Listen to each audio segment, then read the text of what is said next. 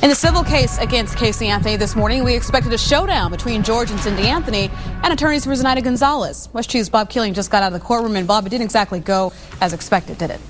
Well, that's right, Sion. In fact, we were expecting the Anthony's attorney to argue what's called a protective order, where uh, he plans to file some paperwork where he's going to ask the judge not to force them to have to answer certain questions that they would not answer in their recent depositions, but that did not happen here today.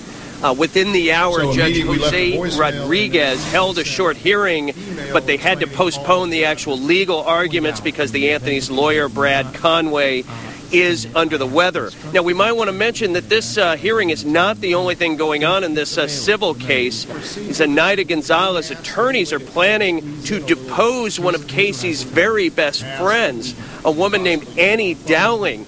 Now, they say she could be a very key witness in this case, and uh, they say she is uh, expected to be cooperative too, so she could add some very interesting insights to this whole uh, civil case against Casey Anthony. And that deposition is going to be taking place just in about an hour or so. We plan to be over there at the offices of Morgan and Morgan, so we should have more on that particular deposition later on today on WESH 2 News and Wesh.com.